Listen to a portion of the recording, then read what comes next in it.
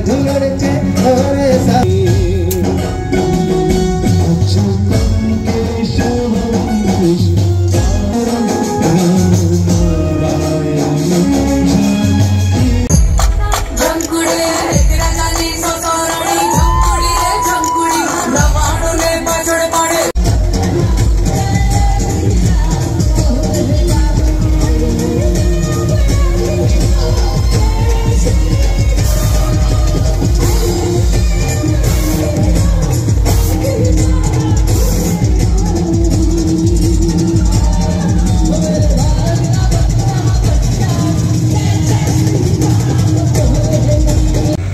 ये जो अब शारदीय नवरात्र प्रोग्राम चल रहा था हमारा गरबा का, तीन दिवसीय था, दस, ग्यारह, बारह, बहुत ही अच्छा रहा और इस बार कुछ नया किए।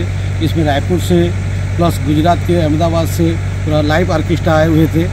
उसके बाद सिंधेगला, बगुमुंडा, लाठौर, सैंतला, पाटनागढ़ से बढ़ चढ़ करके हिस्से लिए।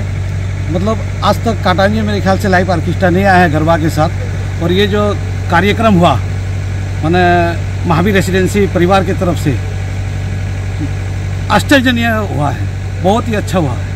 नमस्कार, मैं हूँ सारिका, छत्तीसगढ़ से आई हूँ और आप सभी जानते हैं कि नवरात्र में हर जगह गरबा होता है। इस साल हमें मौका मिला है काटा वांझी में जी हमें थैंक्स कहना चाहूँगी। हार्दिक सोमालिया जी, रुपेश अग्रवाल जी को कि इतने अच्छे आयोजन में हमारी टीम द हारमोनी बैंड और हमने गुजरात से भी दो आर्टिस्ट मंगवाए थे। एक प्यारा सा कॉम्बिनेशन के साथ हमने यहाँ पे गरबा किया। खूब मज़ा आया और इतनी एनर्जी देख के हमारे अंदर भी वो एक्साइटमेंट थी और तीन दिन लगातार ये गरबा चला।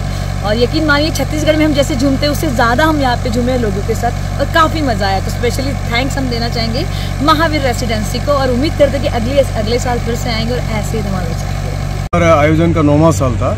और हर बार की तरह धूमधाम से हमने सेलिब्रेट किया। कुछ इस साल अलग करना चाहते थे इसी के लिए लाइव ऑर्केस्ट्रा का कॉन्सेप्ट हम हम कर पाए। और इसके लिए हमारे कॉन्टेक्ट के थ्रू से हम गुजरात और छत्तीसगढ़ से कलाकार को बुला पाए और उन्होंने बहुत अच्छा परफॉर्मेंस किया।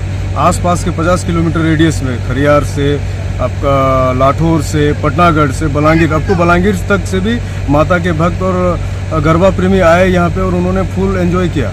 वो डांस किए, गरबा किए और फ़ूड फ़ूड जंक्शन था, उसको इन्होंने बहुत अच्छी तरीके से एंजॉय किया। और हमारे संजय लाट जी के नेतृत्व में हम एक बहुत बढ़िया सफल आयोजन कर पाने में सफल हुए। महावीर रेसिडेंसी के सदस्यों की उसमें सक्रिय भूमिका रही